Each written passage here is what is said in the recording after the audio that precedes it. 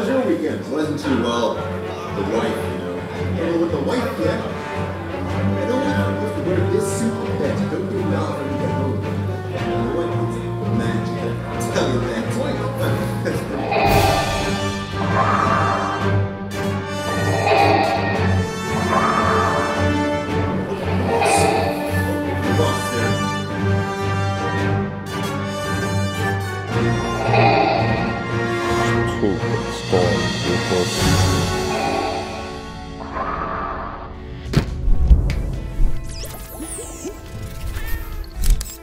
Here for Cinecom.net and welcome to Copycat Friday. This is the series where we recreate a cool effect from a popular music video or film. And today we're having a look at Star Wars and actually how to advanced clone yourself to create an army of yourself and that way you can fight the Jedi. So let's get started with that. So we have all seen a cloning tutorial somewhere. Oops. That's better. So we've all seen a cloning tutorial somewhere, but that usually stops with a single copy of yourself. But what if you want to create an army of yourself? Seems complicated, but it's not. But before we start, I do want to thank Videoblocks for their support today. They've been with us for an entire year now and they've helped us so many times. Videoblocks is a huge library with stock clips, templates, visual effects, and more. And the cool thing about their service is that you can download unlimited files for an entire year with a single price. Don't believe me? Start your 7-day trial completely for free by following the first link in the description below. Now the first thing that you want to do is position your camera on a tripod and make sure that you have a good angle that you want to use for the final result. Next we'll put up a green screen in this area and it's actually not that hard and will save us a ton of work in post-production. There are two types of green screens that you can use. The first one is the portable green screen. It kind of just unfolds like this it sets up very quickly. It doesn't have much wrinkles because uh, it's tightened up within this frame. And the only downside of this green screen is that it's usually pretty small. If you want to stand completely on the green screen or you are with multiple people on it, then you'll need a bigger setup like this one right here.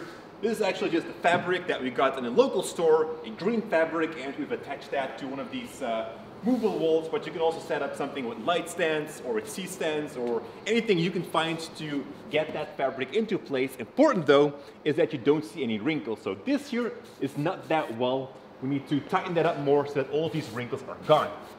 However, we have a dedicated tutorial, so if you want to see how to set up the perfect green screen, you can find a link to it in the description below. To pull off a green key, light is important. There are basically two rules when it comes down to lighting a green screen. First of all is that your subject doesn't cast shadows on the fabric. You can eliminate that by taking distance from the green screen or moving your lights around. And the second rule is to light the green screen evenly. Don't create hotspots like you can see here. And this actually comes from a dedicated tutorial we once did that goes really in depth on how to set up a green screen. You can find a link to it in the description below as well. If you don't have lights, try to find a super soft light source. And this could be outside on a cloudy day or perhaps a soft dome like we once used to make ourselves fly. Also a link in the description. And we went for a light setup and here's how we did it. The idea of a good green screen setup is that you create two zones. One zone is the lighting for the green screen and the second zone is the lighting for the subject. So that's why we have these DIY lights right here. These are just fluorescent tubes in a fluorescent fixture with some black wrap on the side and that way the light won't spill on me but it will create just one lighting zone for the green screen, the fabric itself. Let's turn on the lights. So this is the first lighting zone behind me, the green screen. The second one is going to be for myself, the subject. I'm going to play a stormtrooper in just a minute. And for that, we have two general lightings on my left and right side. So this right here is the Stella 5000, a new light that was sent to us by Light in Motion. We're going to make a dedicated video about this as well very soon. It's a great light. It works on batteries, internal batteries, and it comes with some accessories like this very soft, uh, very small dot or ball to create a general uh, fill light for your scene, which is perfect. So let's turn that one on, like this. Oops, there we go. Very nice light, very good quality as well. There we go. So this is going to work for myself, and I want to make sure that I'm not going to cast shadows of me, the subject, on the green screen.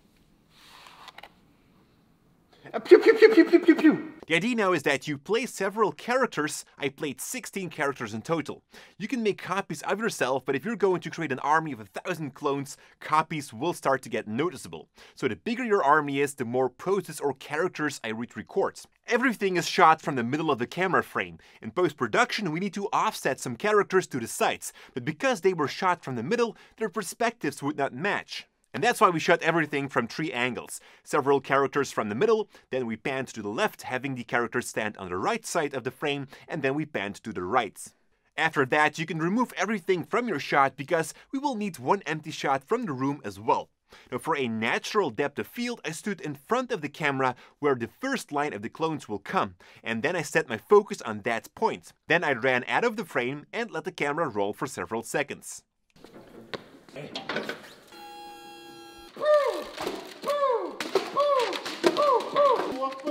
He's having a mental breakdown. So in this scenario, there's stood that we had to create something funny right now, but we're out of I, out of ideas. And now it's time to bring everything inside Premiere Pro. You can already put your empty shot on the first video track. Next, I select one character from the green screen and place it on video track 2. With the clip selected, I head over to my opacity property, and from here I can click on the pen tool to draw a mask around myself. You want to remove as much as you can from the scene, which will make the keying easier. Then I search for the Ultra Key effect and drag that to the clip. With the color picker, I can select the green and remove it. You probably want to fine tune your selection more with the controls below. I'm not going to dive too deep into this because we have a dedicated tutorial about that as well, which goes really in depth throughout all the settings of the Ultra Key effect to pull off the perfect green key. Again, link in the description below. And now it's just a simple matter of taking your other characters and placing them on different tracks in your timeline as well. You can copy the opacity and ultra key properties and paste them onto the other clips to instantly get your keying done. With the position property, you can offset the characters to fill up the room. The first row should be on the upper tracks. The clones in the back go below that, and the further away the clones are, the more you have to scale down those clips too. I'm using the clips that were shot in the middle of the frame also in the middle of my composition. The ones where I was standing on the right also go on the right side in my edit, etc. And this way we have a more realistic perspective. After you've used up all of your characters, you can start copying those layers, but make sure that you don't have a noticeable pattern. Spread them unpredictable over the scene. And once your army sits in place, we'll work on some more details to make it more realistic. Using Lumetri, I'm going to decrease the exposure for the clones in the back. The further away they are, the darker they become. This makes it more realistic for the single light we have set up in the front. Finally, I'm also going to add a Gaussian blur to the clones in the back as well. Just like with the exposure, you want to add more blurriness the further away they stand. And this is to make that depth of field more realistic of the camera. It's already looking good, but we can make it more dynamic by just selecting all the layers, right-clicking on them, and then hit Nest. And this will group all of those layers together. On this group, I'm going to add a fake camera movement preset, which you guys can download for free from our website. Once again, link in the description. And this will take the edge off that static tripod shot. Furthermore, you can add a global color grading to the scene on that group as well. And to tip it off, I got a lens flare from Videoblocks, which I blended into the clip as well. So that was it guys, now you know how to make an army of yourself and fight whoever you want to. Thank you so much for watching, and always remember, and stay creative. Hey, that's my line. Damn it.